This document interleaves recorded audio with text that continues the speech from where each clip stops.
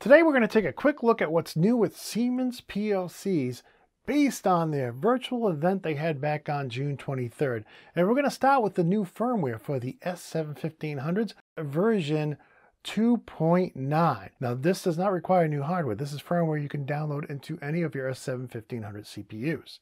Now one of the first things that they talked about was how this new version of firmware freed up additional memory, both in the program and data storage, especially for the 1518. Now you can see it also affected some of the other controllers as well in that chart, but that's important if you have one of those controllers. Next, they expanded their media redundancy protocol so you can have up to uh, 11 MRP rings coupled together, which is a fairly good sized system. After that, they went into a discussion on their new safety integrated redundancy. So these, they've had redundant uh, CPUs for a while, but now they have uh, CPUs that also support safety. So I thought that was a pretty big deal as well. And then they're also added these products into PLC Sim Advanced, so you can now emulate them too. That said, another feature they've done in TIA Portal is they've added TLS-based protection for communications between controllers, engineering stations using TIA Portal, and HMI stations. And that's a pretty big deal because security is becoming more and more important with every year that goes by. Um, another thing they did is they added a server alarm and condition support to the product. So this is a big deal, right? So they've supported OPC UA for a while, right? But now they're adding alarms and condition support as well. So you can see on this slide that uh, that could be a pretty big deal. That gives you a lot of additional information that you can get out of the controller automatically via OPC. And here you can see they're also integrating certificate management with OPC UA as well.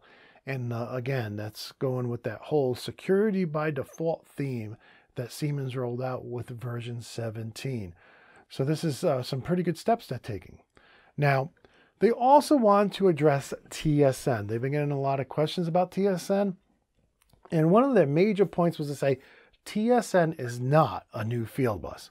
And here I think they do a good job talking about how TSN is part of the IEEE 802.1 um, standard. And you can see that's in the layer two in the data link.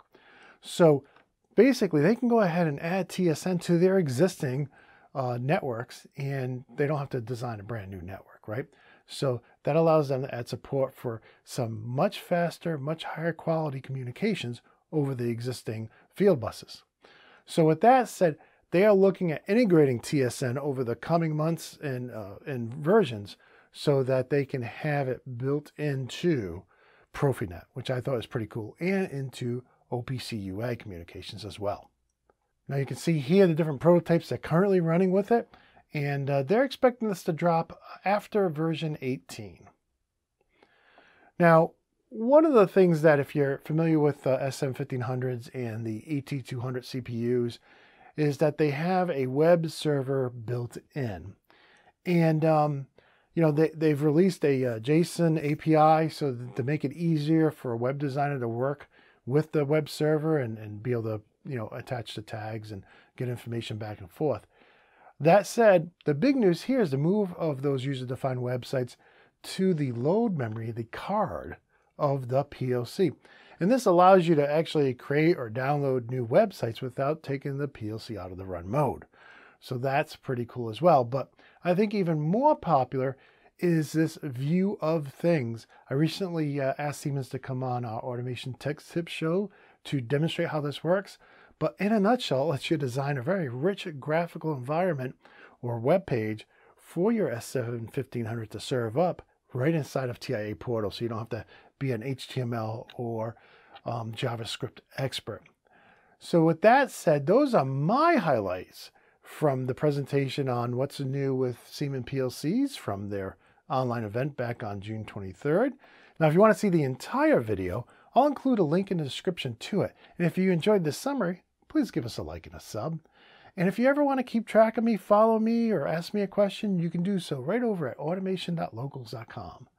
With all that said, I want to wish you a very happy, safe, and healthy week. And until next time, my friends, Peace.